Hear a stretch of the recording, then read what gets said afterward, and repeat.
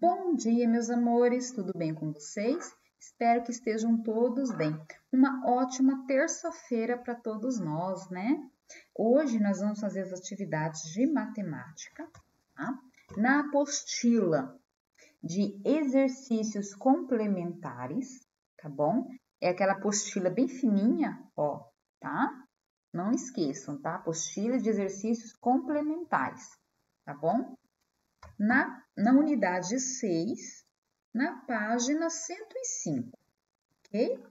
Para vocês não errarem, tá bom? É a multiplicação no comércio brasileiro. Leia as multiplicações que resultam no mesmo produto. 32 vezes 6, 123 vezes 5, 350 vezes 4. Então, vamos lá né?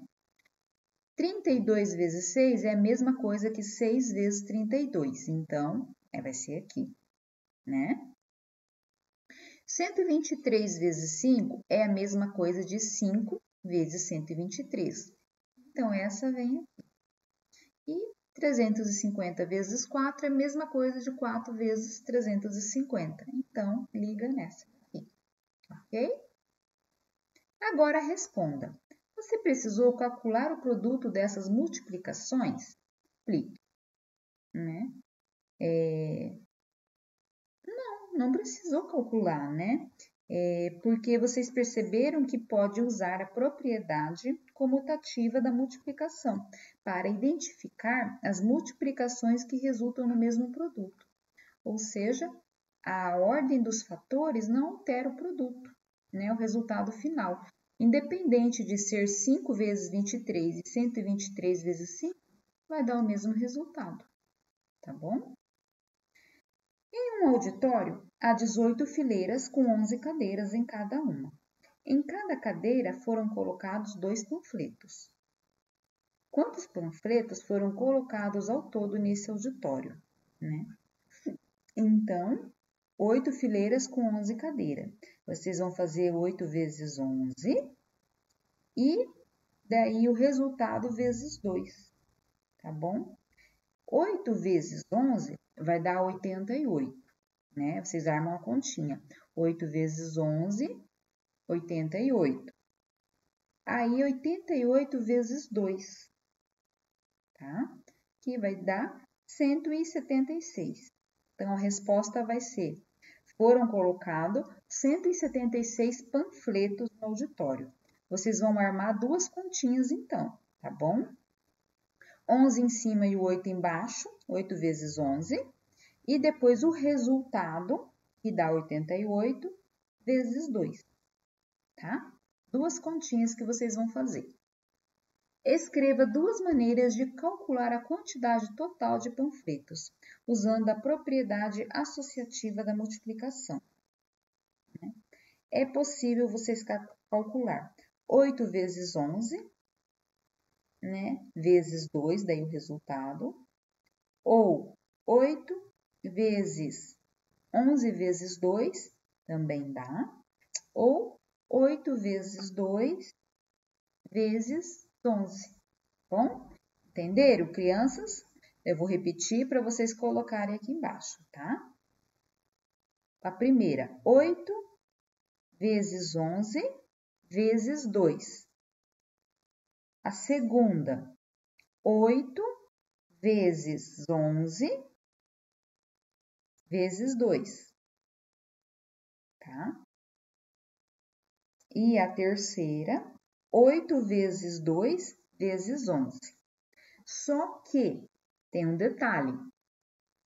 A gente vai colocar alguns números entre parênteses, tá? Ou seja, vai ficar a primeira 8 vezes 11 entre parênteses.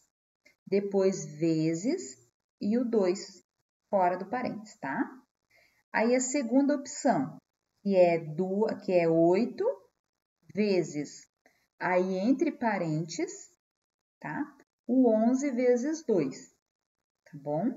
E a terceira opção, que é o 8 vezes 2, entre parênteses, vezes 11 fora do parênteses, tá bom? Se vocês tiverem dificuldade, vocês me mandem mensagem, tá? Porque ficou um pouco confuso eu falar e não mostrar, né? Não tem como eu mostrar aqui como que eu vou fazer aqui para você. Carolina realizará uma festa para comemorar seu aniversário. Para calcular a quantidade de salgadinhos que serão servidos por mesa, ela fez as seguintes anotações. Em cada mesa serão servidos cinco tipos de salgadinhos. Cada convidado come em média dois salgadinhos de cada tipo. Os convidados sentarão em mesas com oito lugares. Vamos lá então. Quantos salgadinhos Carolina deverá servir por mesa? Vamos armar a continha. Entre parênteses, 5 vezes 2, fora do parênteses, vezes 8, que é igual 10 vezes 8, que é igual a 80, tá? Então, vocês vão fazer aí a continha. 5 vezes 2, pode armar a continha normal, tá? 5 em cima e 2 embaixo, que vai dar 10 o resultado, certo? Depois, vocês vão pegar o resultado, que é 10, vão fazer vezes 8, né? 10 em cima e 8 embaixo, né? Então, e vai dar 80, ok? Aí a resposta.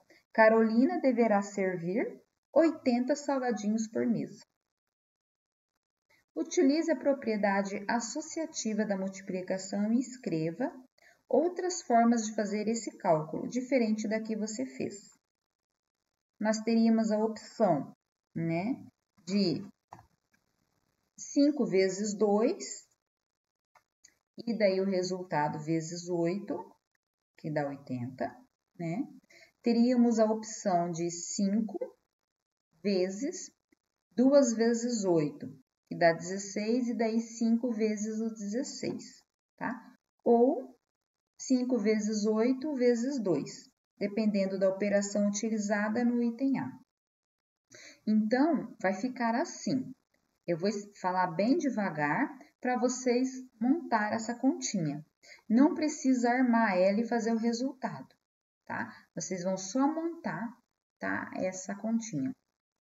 É, a primeira, entre parênteses, 5 vezes 2, tá? E daí, fora do parênteses, vocês vão pôr vezes 8. A segunda opção, 5 vezes, né? Aí entre parênteses, 2 vezes 8, tá? E a terceira opção vai ser entre parênteses, 5 vezes 8, e daí fora do parênteses vezes 2, tá bom? Vocês vão só montar ela assim, vocês não vão precisar resolver ela, tá? É só montadinha mesmo. É, número 4.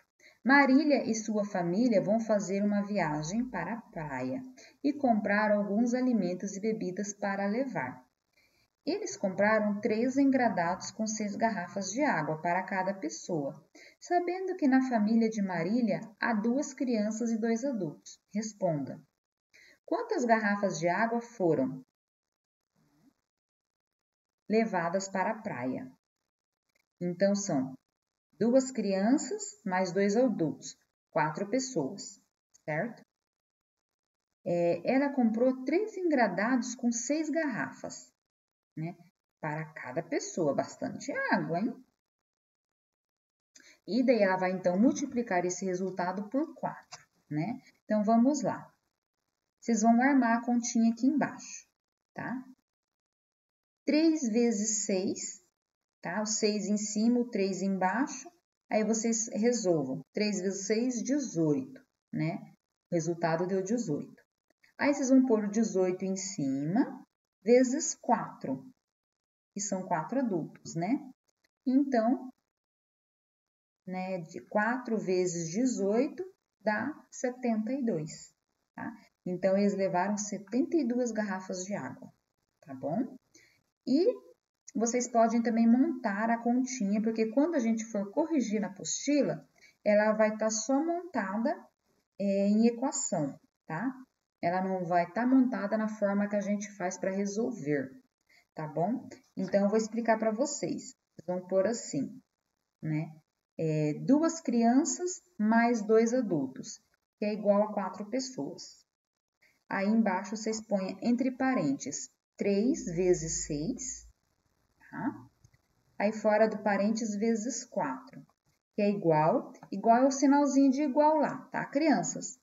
18 vezes 4 é igual de novo 72, tá? Foram levadas, então, 72 garrafas de água. Agora veja como Marília calculou a quantidade de garrafas d'água que vai levar para a praia. Crianças, olha só, esse aqui é o exemplo que eu falo da continha montada, tá? É, entre parênteses, é esses dois aqui, ó, tá? Esses dois risquinhos aqui se chama parênteses, tá bom?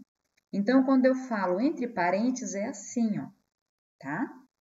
Então, ó, é, agora veja como Marília calculou a quantidade de garrafas d'água que vai levar para a praia.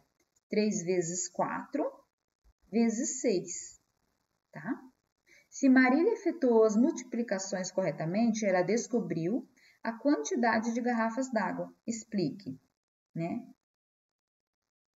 É, a operação usada por Marília é equivalente a 3 vezes 6, né, vezes 4, pela propriedade associativa da multiplicação. Então, ela está correta, tá bom?